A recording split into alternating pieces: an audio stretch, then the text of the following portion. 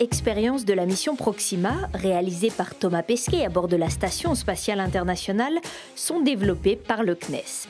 Parmi elles, Aquapad, une expérience en microbiologie qui va faciliter la vie des astronautes.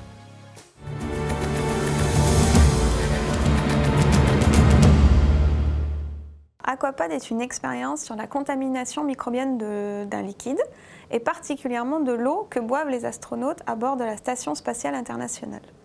Donc à travers cette petite euh, boîte, on va pouvoir visuellement savoir si l'eau est bonne à consommer ou pas. Comment ça marche?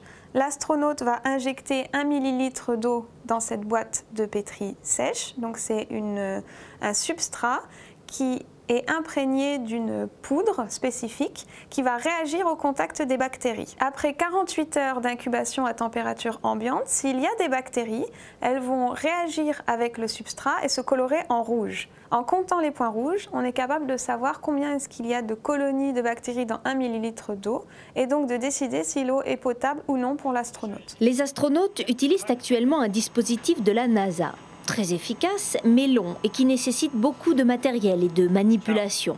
De plus, le substrat utilisé aujourd'hui a une durée de conservation limitée, ce qui n'est plus le cas du substrat d'Aquapad développé en partenariat avec la société Biomérieux. L'innovation dans Aquapad, c'est d'avoir un substrat sec qui peut être stocké à température ambiante pendant plusieurs mois, voire quelques années, qui n'est pas détérioré. Et le jour où on a besoin de faire une analyse, il suffit juste de prendre cette petite boîte et d'injecter un millilitre de liquide, donc ici de l'eau.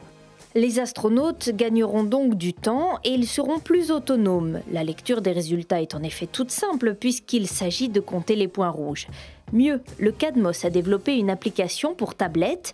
L'astronaute prend une photo de la boîte de pétri et la tablette compte automatiquement les points rouges. Sans attendre le retour des équipes au sol, les astronautes pourront ainsi contrôler l'eau et les autres liquides, ce qui pourra s'avérer utile pour de futures missions lointaines.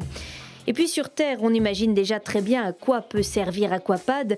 Par exemple, contrôler la potabilité de l'eau dans les pays en voie de développement ou lors de catastrophes naturelles.